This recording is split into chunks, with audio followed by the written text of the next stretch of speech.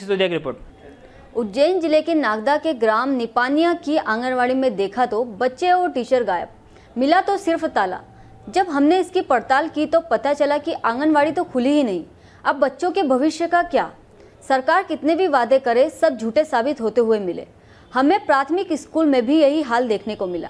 यहाँ तो बैठने की जगह नहीं है पढ़ाई करना तो दूर की बात है। तो तुम जी ये क्या बिल्डिंग बंद क्यों पड़ी है? अगर शासकीय स्कूल माध्यमिक विद्यालय जो बनाया गया है ये बंद क्यों है? इसकी क्या है प्राइमरी स्कूल की बिल्डिंग की छत डैमेज हो गई है। अच्छा। उसका प्रस्ताव रा, राज शिक्षा केंद्र के पास गया हुआ है तो अभी तक उसका बजट पास होके नहीं आया है।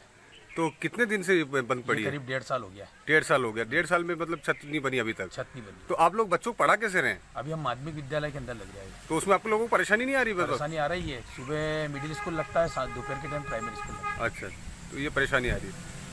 तो अब अभी आपको कैसे पता कि इसकी फ़ाइल वगैरह वो सब चली गई है वो इंजीनियर के द्वारा चर्चा हुई थी। अच्छा। उनसे मेरी चर्चा हुई थी मैं दो तीन दो तीन बार उज्जैन भी जाके आया हूँ। हाँ। तो उनने बोला है प्रस्ताव बना के हमने भोपाल पहुँचा रखा है। तो कितने ये कितने दिन पुरानी बातें हैं आप जो बता रहे हैं?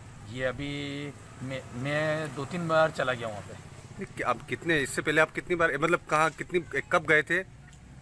इससे पहले छः कब महीने पहले। मतलब छह महीने होने के बावजूद भी यहाँ पे काम चालू नहीं हुआ है। क्या नाम है आपका? महिलाल लोहार। मांगीलाल लोहा मतलब ये बंद क्यों पड़ी है स्कूल यहाँ पे ग्रामीणों की जो मतलब आप लोग बच्चे पढ़ते कैसे आप लोगों के? वो जो आठवीं वाले में पढ़ते हैं और उनके बारह बजे तक ये और बारह बजे बाद में वो दूसरी क्लास लगती है। मतलब वहाँ चल, चला रहे हैं। उसमें परेशानी नहीं आ रही बच्चों के लिए आप लोग? परेशानी तो बहुत सारी आ रही है उन- जो वो इनकी बच्चों की शिक्षा भी ये हो रही है प्रभावित हो रही और यहाँ से मतलब जो लोग अगर जो बच्चे को पढ़ाना चाहते हैं तो वो प्राइवेट में भेजते हैं यहाँ पे भेजते भी नहीं। क्योंकि इनकी समस्या यही है ना। कितने दिन हो गए इसकी बन इसको? ये तो डेढ़ दो साल हो गए डेढ़ दो साल से भी इसको मतलब छत नहीं बन पाई इसकी। हाँ हाँ बिल्कुल नहीं।